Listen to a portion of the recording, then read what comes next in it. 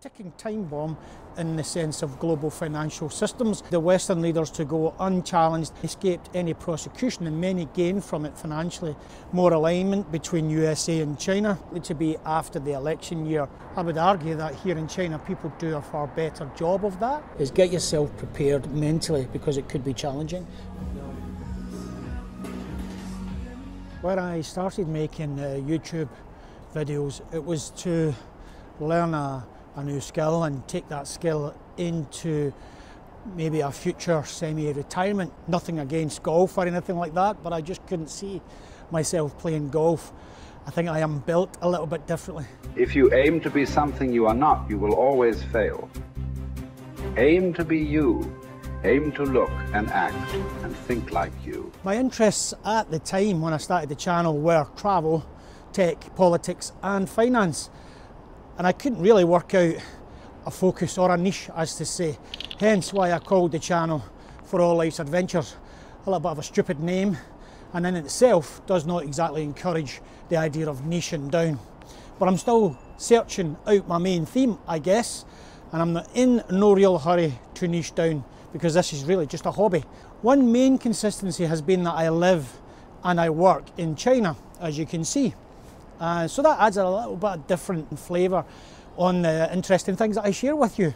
With that lived experience, I've always been keeping an open mind to the impressive expansion of China and the impact that that has and will have on geopolitics in the way of finance, travel, and also tech, including the political atmosphere, which at the moment I guess is a little bit stretching.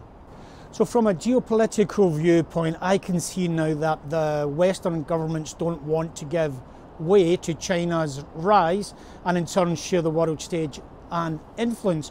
In effect, the Western hegemony that has lasted since the breakup of the Soviet Union has allowed the Western leaders to go unchallenged, and that has probably allowed them the freedom to roam, control, and assert their belief systems onto many other regions and countries. I would argue that this has been costly to us all in the sense of financial costs, loss of life costs, and opportunity costs. And I personally have never seen the sense in fighting many of the wars that we have fought over the last 25 years, especially if the war is construed to allow an increase in spend with and profit for companies and entities that can gain the most from a set of actions and policies from the government that result in more warfare and more money for them. Call me cynical. This year, 2024, is the biggest year ever for people voting at the polling stations across what we call the democratic world. Say that with these things. And from that, we may see leadership changes that could exasperate the tension, even in the run up to the big election at the end of the year, the American presidential election in November. We will no doubt see and hear more rhetoric on war, conflict, and aggression aimed at many countries, with China being on the receiving end of a large part of that. That should worry us all because things could escalate, and I'm hoping that after the voting's all done, and as we head into the year 2025, we could see cooler heads prevail, more alignment between USA and China, and many more countries all working together to help advance civilization. Call me an old hippie, but then I don't quite have the head of hair for that image. I say this because one of the biggest threats we face is not only from war or from the devastation that we might be doing to the planet, but I believe we face a ticking time bomb in the global financial system. The United States federal government's total public debt has reached $34 trillion. That's roughly $101,000 in debt for every single person who lives in the United States. I'm not sure how we would get out of that one this time around. What I do know, the way we got out of the last financial meltdown in 2008 was working together, and that included working with all countries.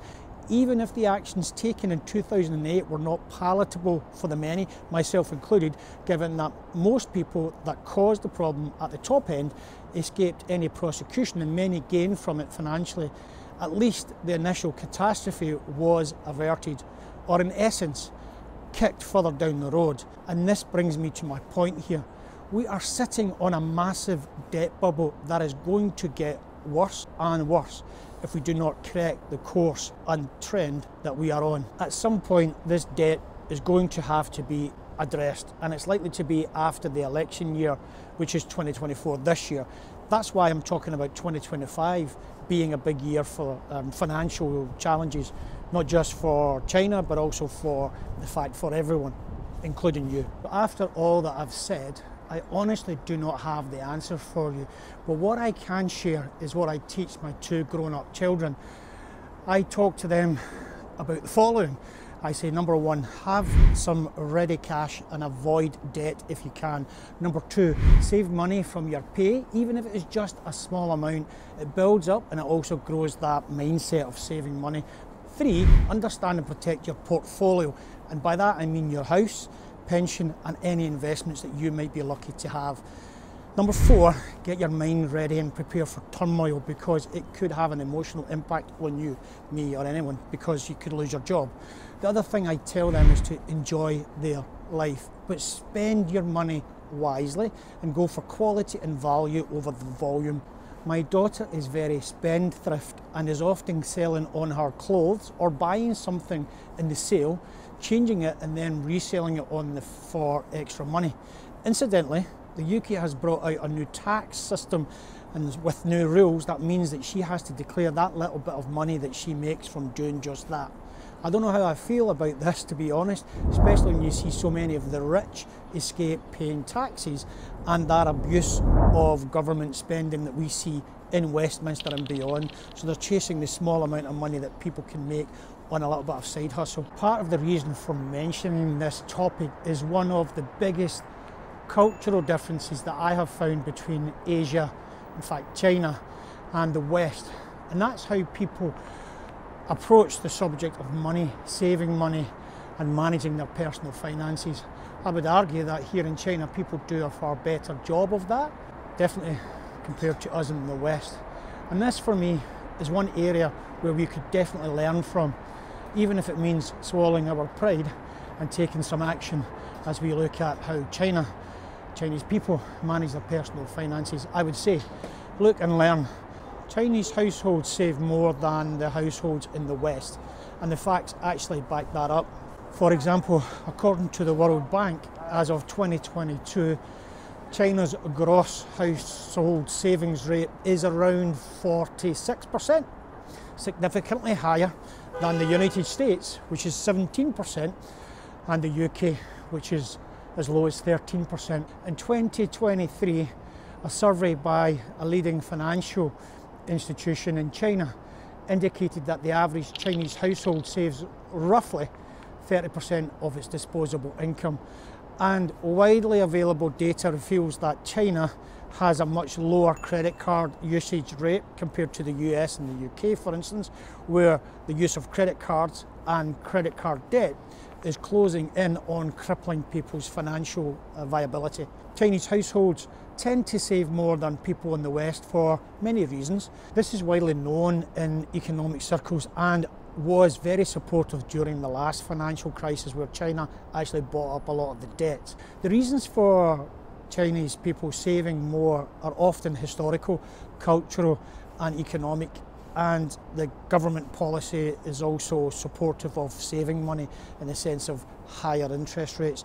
It is cold where I am right now, so I'm going to go and find somewhere a little bit warmer to discuss the rest of this with you. So I found a place which is just a little bit warmer.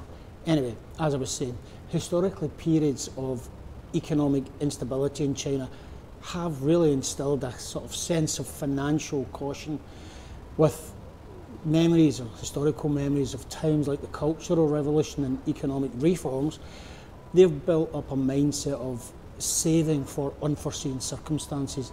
I have found that the Chinese culture is surprisingly money focused, and you do see that more at this time of year as we approach the New Year celebrations, the Chinese New Year celebrations.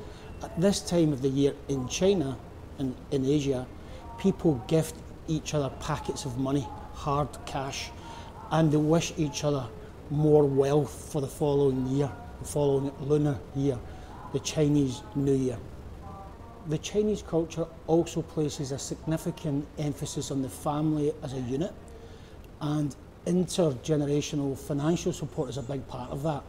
Saving money is, is often seen as a way to ensure a stable financial future for the whole family, in fact, a stable future for the whole family as a unit.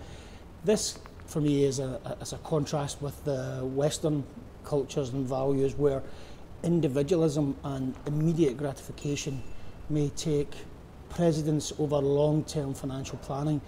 And in the West, children will often leave the family unit once they're grown and will be left to grow wealth on their own, unless, again, it's the upper class who do focus on and pass on generational wealth with tax benefit.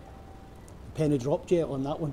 Chinese parents often prioritise their children's education, viewing it as a key to upward mobility and again to benefit the future of the family unit. This is seen as a value to the whole family and drives significant saving effort to fund future educational expenses. Meanwhile, in the West, access and desire for education is kind of looked at differently these days, and this impacts the need and the urgency for saving for that, that educational future. Social pressures and community expectations also play a role in financial behaviours in China. The concept of what they call face is, is crucial and is crucial in maintaining a certain financial standing that contributes to a person or a family's social status. I often describe face as a kind of respect, but it's much deeper than that, and it's it's a hard thing for Westerners to understand this, and I often have screwed up around that concept of giving people face. In China, people openly discuss their finances and don't be surprised if you are in China and you're here for a, any period of time if someone asks how much you earn. In Western cultures, financial discussions are just they're just not there and people don't discuss openly their financial situation. And we would run a mile if someone asked you how much you earn or what's your personal financial situation, which I think really is a big mistake because we could actually help each other understand and learn more about money. In fact, we should be taught that at school. There are a number of other factors that explain the differences in saving habits in China compared to the to the West. Economic structures, welfare safety nets vary between China and the West. Many households, especially in rural areas, um, they save because they don't have a lot of access to financial resources and, and credit. This, along with a, an, a well bedded in cultural aversion to debt leads to increased reliance on personal savings. Social welfare system is less developed compared to the West and this lack of robust safety net also encourages families to save as a precaution against unforeseen circumstances. They save for a rainy day. Government policies historically have also incentivised this idea of saving. For example, policies that encourage saving for retirement, home purchases where it's much higher the down payment or higher bank interest rates uh, in general here in China encourage people to, to save and that, and that is all contributing to this higher saving rate in China compared to the West.